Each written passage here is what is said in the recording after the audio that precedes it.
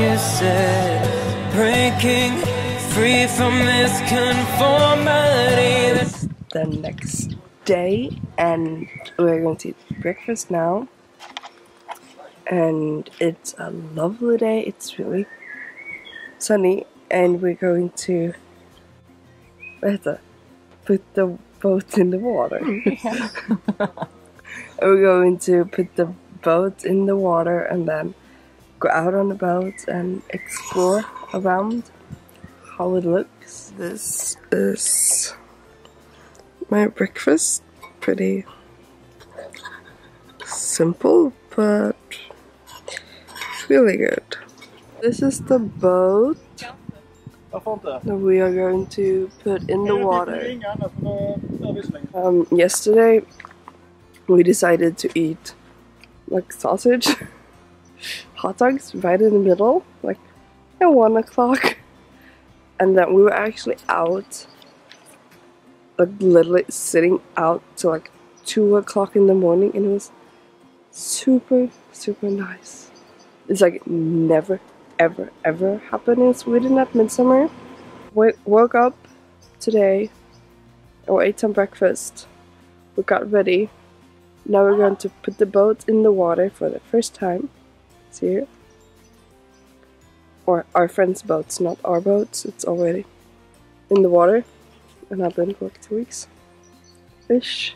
I don't really know. After that, we are going to just like browse around in the sea because it is really hot and it's pretty bad to see it actually, but I'm standing in the shade and it's like it's so bad. So so be be by the water and like getting the breeze of it and everything is like it's perfect. If you like know me in person, you know that I absolutely love being on a boat right at the sea and like jump out of the boat right into the water. That's so summery for me. Could just take a moment and talk about this view? It's it's like so amazing and I love it every second. that you force on me. Everything I do is one big show. It's about damn time that I take control. Put me under a microscope and watch me take control. Oh,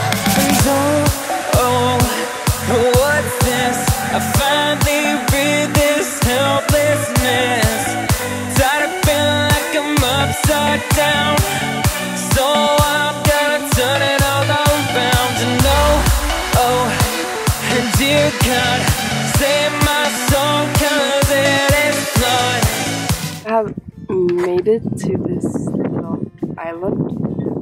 We're on and we're going to eat some lunch at this little island that we drive the boat to. And it's a really really really nice view. Now we are on our way back from the little island that we went on. And we were actually swimming, swimming in the water which was it was a little bit cold,